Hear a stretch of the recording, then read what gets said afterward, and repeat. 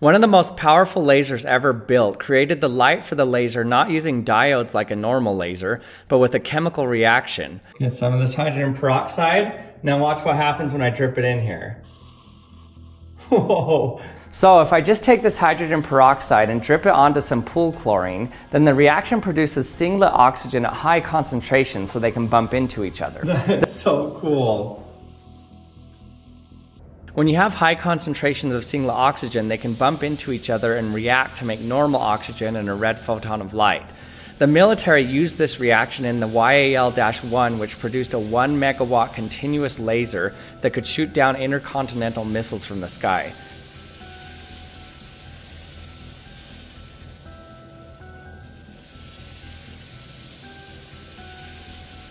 Now that I think about it, I think I know what my next project will be.